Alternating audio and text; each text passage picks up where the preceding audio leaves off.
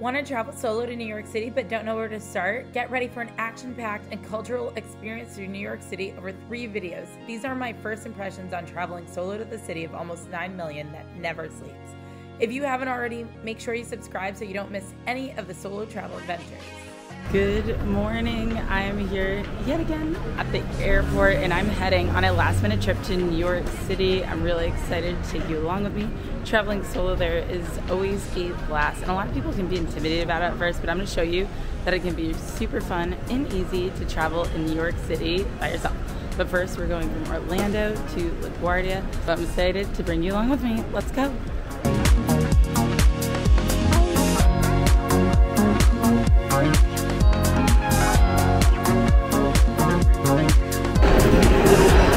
Alright guys, welcome to New York City. We are in Grand Central Station and heading to the hotel. Now just heading to try finding the hotel, but first I'm in Grand Central Station, so I cannot not stop by and see the famous Grand Central Station concourse area. Oh, this is so cool. I love New York City. Every time I come back here, it is super epic.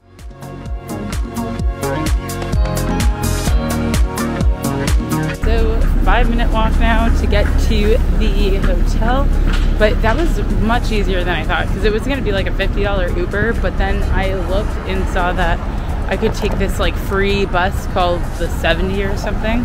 It was easy to find the public transit signs, and then once I found that, it brought me straight to the Roosevelt stop where you could take the 7 into Manhattan, and now that's where I am now.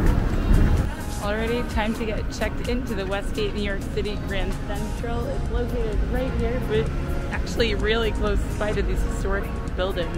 Definitely cool. I think it was one of the first apartment complexes in all of New York City. I love how you have the old history mixed right beneath the new.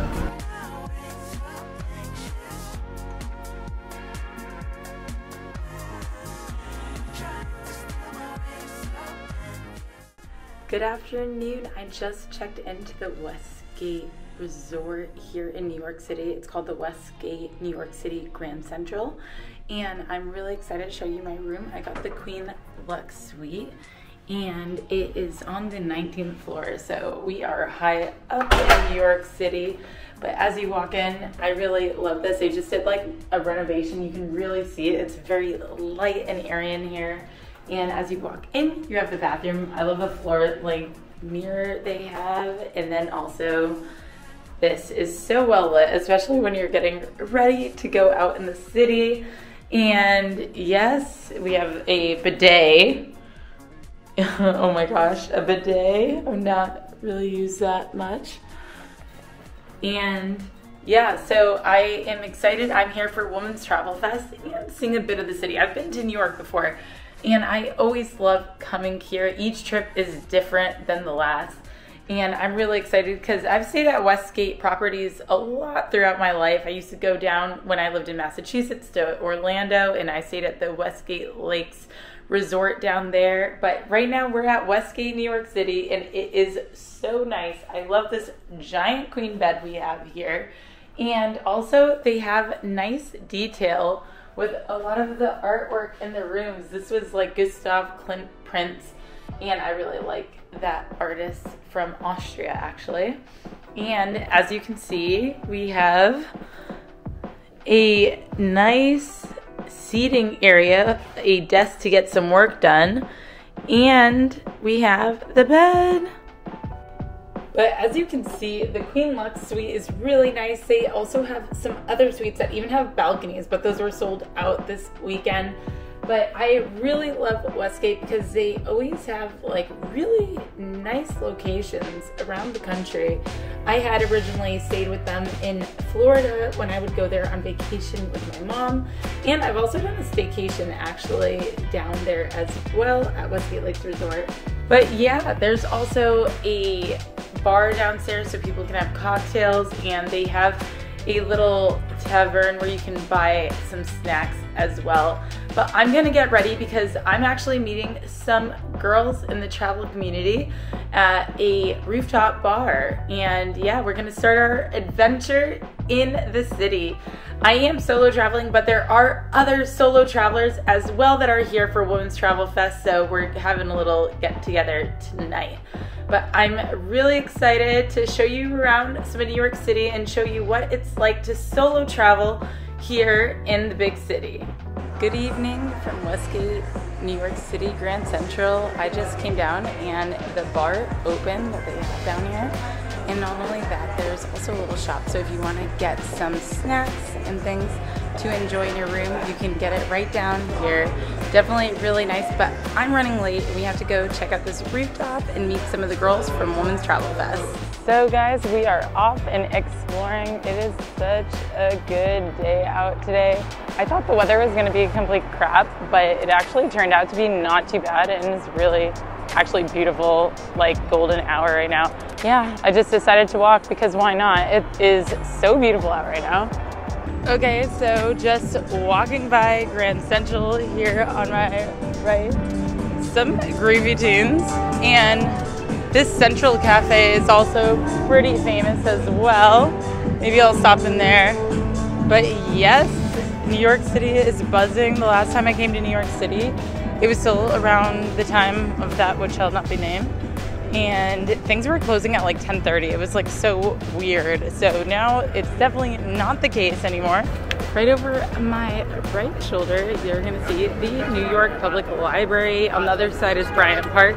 So really, the Westgate is so close by to all of this. It's just like walking distance and feels super comfortable walking around here, honestly, by myself. So there's that. Alrighty guys, just made it to the 230 Fifth Avenue rooftop and I'm excited to come and check it out. First rooftop bar of the trip. Alright guys, this place is so beautiful. They have these igloos here as well, so when it's more chilly, you can go and just be warm inside of those. It is definitely beautiful. This is we are we're having the first meetup. trying to find them still, but honestly this is so so beautiful. So all I'm gonna say is I was wrong. They changed the meeting time and now they're meeting at the Spar Sima on top of a hotel. George, I think. So we're almost there. But yeah, I was gonna be on time, but now I'm like 35 minutes late. Ended up having such an amazing time with the girls that I didn't film much, but here is a group picture of us all.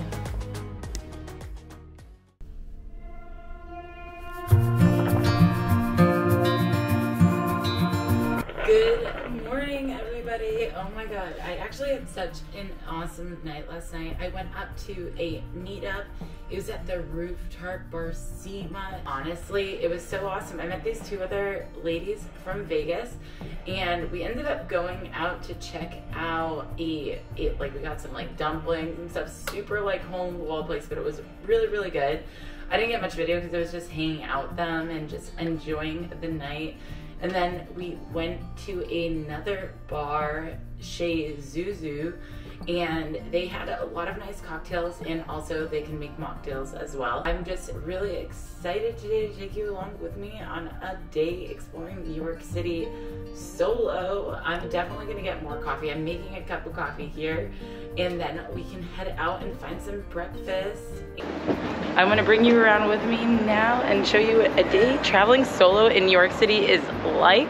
But that's why I like the Westgate Resort, like the Westgate Resorts in the Westgate property here in New York City, because it is so, so central. Like I'm walking and right now I see right behind me, or in front of me, is the Chrysler building. And yeah, I was yesterday walking around and not too far from Bryant Park and a bunch of other New York City highlights. And yeah, it's just really lively, the city, and just gonna see what it's all about. Good morning, everybody. I'm here at Little Collins, and this place is super cute. It's located close to Grand Central, and not only that, they serve breakfast, which is my favorite meal of the day. And I got the breakfast burrito with chorizo, which the lady suggested is really good. And they also serve coffee. I love their cups. It says fresh as a daisy, Little Collins. And they also do evening eats from like 2 to 6. So if you are in the area and you want to grab a quick bite and a coffee or a cocktail, they have that here as well.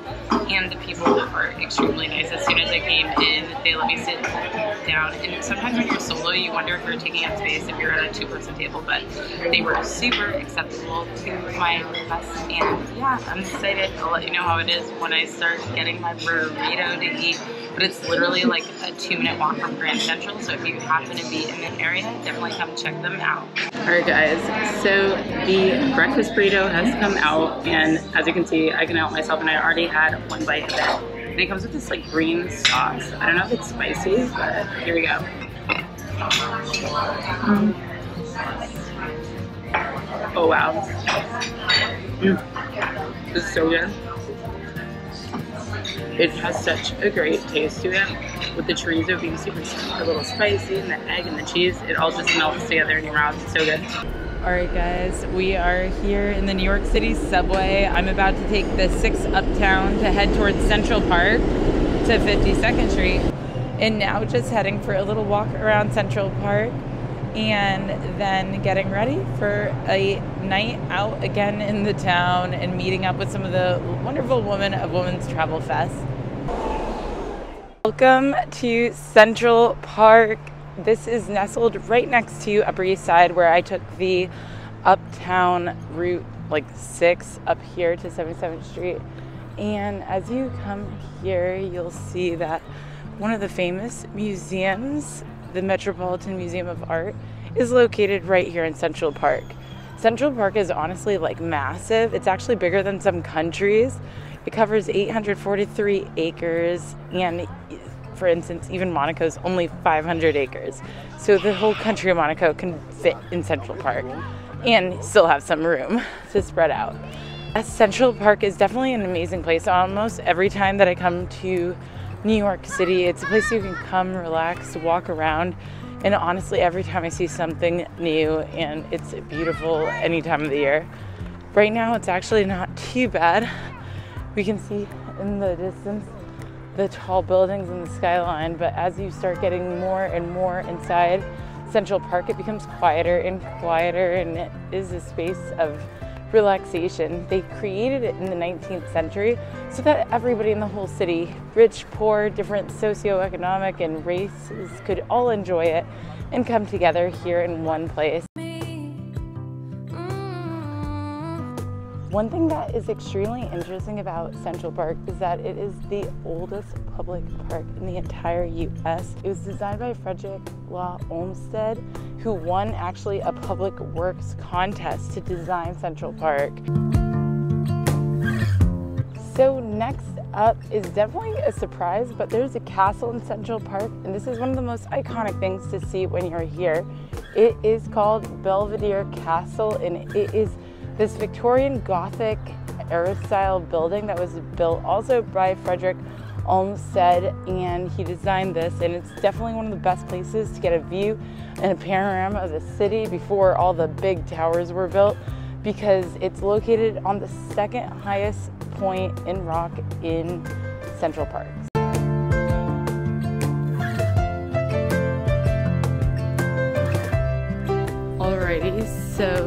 Just saw Belvedere Castle and now we're heading towards Bow Bridge, which is absolutely beautiful. I remember one of my first solo trips to New York City, I came here with a, two other girls walking around the park. And honestly, sometimes you can feel a little bit intimidated because this is definitely a huge park, but it is pretty darn safe and beautiful. Check this walk out right now. It's like nuts.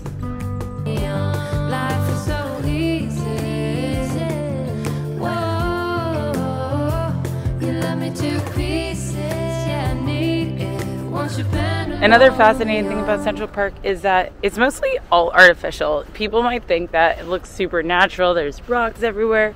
There's undulating hills and lakes and stuff, but it was all man-made. It just, yeah, nothing really existed here before they designed it, and they built this beautiful, epic park in the middle of the city. And it's actually not even New York City's largest park. The largest park is actually located in the Bronx. already and we're now here at Bow Bridge which is another very picturesque spot in New York City's Central Park and definitely worth a stop by. It's on the way to the Bethesda Terrace which is also a must when you are here and you can even see the pond where they filmed the Friends intro scene. So I'm gonna go check, not pond, I mean fountain. Already, so far everybody's been so friendly. If you're traveling solo and you want somebody to take your photo, just like see if they're taking photos and then just like ask them politely if they can take one for you as well because everybody wants a good photo when they're in New York City Central Park. Another famous spot in Central Park is the Bethesda Fountain, which is right behind me, and the Bethesda Terrace. You might recognize it from things like Friends or Gossip Girl, and it just is such great vibes. I hear them playing some live music right now, and I probably can't keep it on because of copyright issues, but it's beautiful, so I'm gonna tape it right now.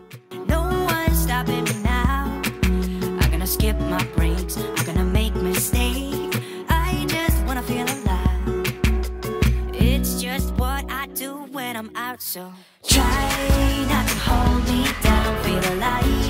So we tried this Argentinian like ribeye steak sandwich.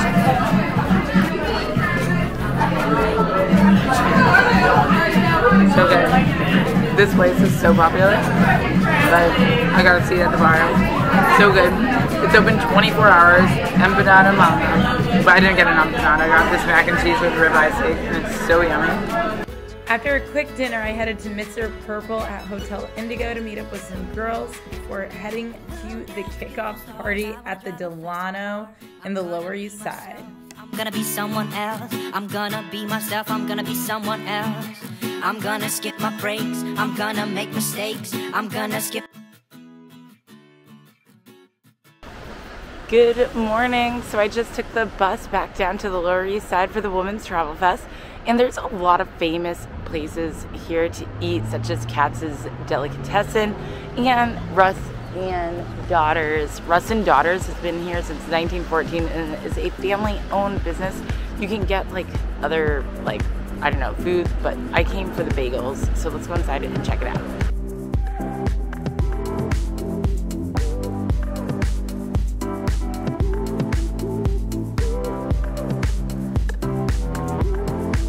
Alright guys, I'm outside of Russ and Daughters. It's been family owned since 1914 and I got what they're most famous for, their bagels. I got the everything bagel with scallion cream cheese. So I started to eat it, and it is so good.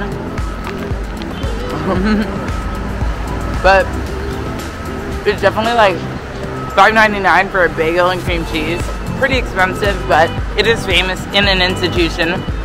Oh my god, I got cream cheese all over my face, but I'm gonna enjoy this and head off to the Women's Travel Not Fest. to sound cliche, but it was so empowering to be around so many amazing women in travel, and definitely I recommend going to Women's Travel Fest if you love travel as well. It's time to say goodbye to Westgate. I'm heading out. I got dressed up. I'm going to the Museum of Ice Cream, which honestly I've been looking forward to. I keep seeing it online, and it's one of those things that you're just kind of like, it's a little bit kitschy and stuff and very touristy, but honestly, sometimes those are the best experiences, especially when you're meeting up with new people.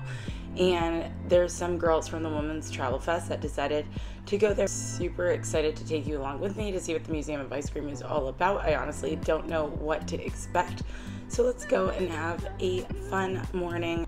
But yes, it's been an amazing stay at the Westgate. Honestly, I love all the natural light in this room, the desk. I did get some work done there, which I'm pleasantly surprised with myself. But yes, time to go because it takes some time to get around New York City. I've been using the buses, the metro, and it honestly is really easy and I have felt super safe using them. I've used it in the morning, night, you name it. Um, and you can just use your card if you have a wireless card to tap on and off the buses, or not off, just on the bus or on the subway, so you don't have to mess with the machines at all. So that's a positive, but time to go. Back in the Lower East Side, and I'm excited because I'm going to the Museum of Ice Cream with Gabby from Packs Light. And yeah, I've always seen this online and decided to check it out. It's in the Lower East Side. And it's close by to the conference. So before heading to the conference for Women's Travel Fest, I'm gonna head to the Museum of Ice Cream. Beautiful faces. My name is Orange Dreamsicle. All right, this is so so cute. The Museum of Ice Cream. I honestly have no idea what to expect, but this is definitely fun. You can create your ice cream persona and then go through. And yeah, Gabby. I'm gonna eat some ice cream. I'm glad Gabby was coming here because I don't know if I would have tried this, but I'm really excited. Yes. Oh, what is this? My ice cream name.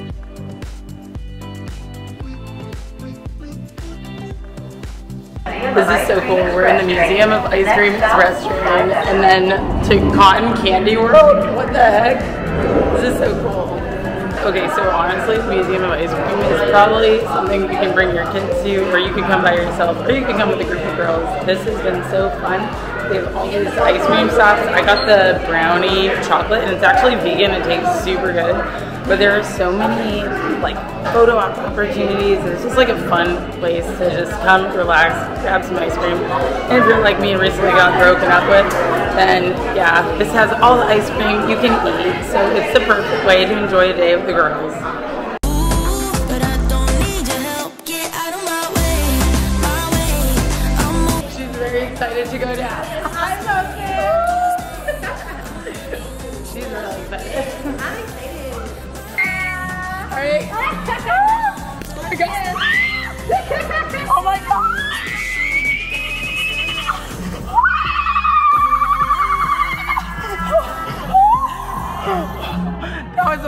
a lot. All right, guys, this was the last room, and it is so cool. It's just like a pool of sprinkles. Check it out. But it's time to head back to the Women's Travel Fest. It was an epic time here, and now time to head back to meet some other awesome women in travel. After having one of the roughest months going through a breakup and my mom's open heart surgery, this was the exact therapy I needed. Coping with hardships in positive ways like travel and surrounding yourself with a community that understands you was what I needed. Going to New York City solo, but I was never alone. Be sure to subscribe to not miss seeing New York City from up above and let me know in the comments if you have any questions.